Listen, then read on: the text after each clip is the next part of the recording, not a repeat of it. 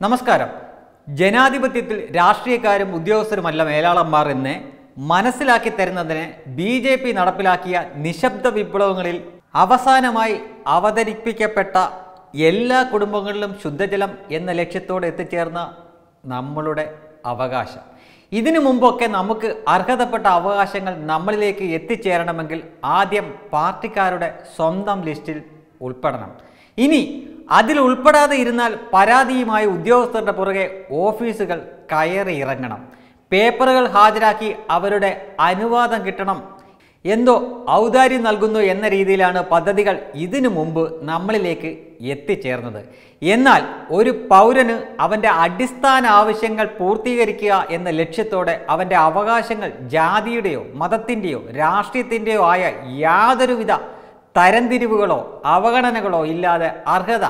അതുമാത്രം അവരിലേക്ക് നേരിട്ട് എത്തിപ്പെടാൻ വേണ്ടി കേന്ദ്ര ഗവൺമെന്റ് നടപ്പിലാക്കിയ പ്രധാന മൂന്ന് പദ്ധതികളുടെ ഉദാഹരണങ്ങളാണ് ഇനി പറയാൻ പോണത്. ഒന്ന് പ്രധാനമന്ത്രി ആവാസ് യോജന. ഇന്ത്യയിലെ എല്ലാവർക്കും വീട് എന്ന ലക്ഷ്യത്തോടെ കേന്ദ്ര സർക്കാർ നടപ്പിലാക്കിയ പദ്ധതി ലൈഫ് മിഷൻ എന്ന പേരിൽ കേരളത്തിൽ അർഹതപ്പെട്ടവരിലേക്ക് എത്തുമ്പോൾ അതിന്റെ നിശ്ചയദാർഢ്യവും അംഗീകാരവും കേന്ദ്ര സർക്കാരിന് അവകാശപ്പെട്ടതാണ്. രണ്ട് ആയുഷ്മാൻ ഭാരത് പദ്ധതി. എല്ലാ കുടുംബങ്ങളുടെയും അവരുടെ ആരോഗ്യ സംരക്ഷണത്തിന് അഞ്ച് ലക്ഷം രൂപ ഇൻഷുറൻസ് കവറേജ് ചെയ്തു കേന്ദ്ര സർക്കാർ നടപ്പിലാക്കിയ പദ്ധതി. ലിസ്റ്റിൽ ഉൾപ്പെടാൻ ഒരു പാർട്ടിക്കാരുടെയും പിറകെ നിങ്ങൾ പോവേണ്ട. അർഹതപ്പെട്ടവർ ഉൾപ്പെട്ടിരിക്കുന്നു എന്ന് അറിയിച്ച കത്ത് പ്രധാനമന്ത്രി വീട്ടിലേക്ക് നേരി നേരിട്ട് അയച്ചു തരും.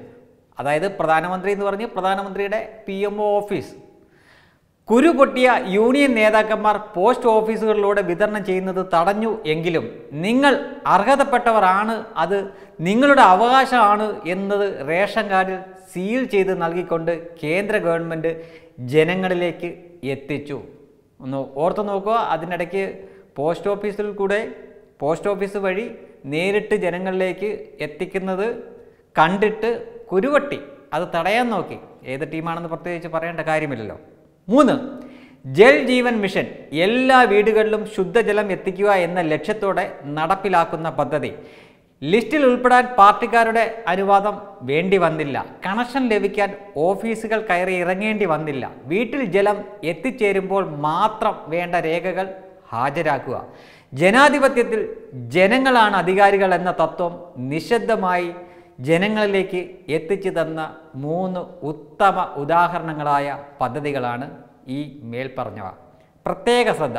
എല്ലാവർക്കും വരുമാനം ലഭ്യമാക്കുക എന്ന ലക്ഷ്യത്തോടെ കേന്ദ്ര ഗവൺമെന്റ് നടപ്പിലാക്കുന്ന ദേശീയ ഗ്രാമീണ തൊഴിലുറപ്പ് പദ്ധതി ശബരിമലയ്ക്കെതിരായ വനിതാ മതിലിൽ പങ്കെടുക്കാത്തവർക്ക് തൊഴിൽ നൽകില്ല എന്ന് ഹുങ്കിറക്കിയ രാഷ്ട്രീയ ആശയക്കാർ.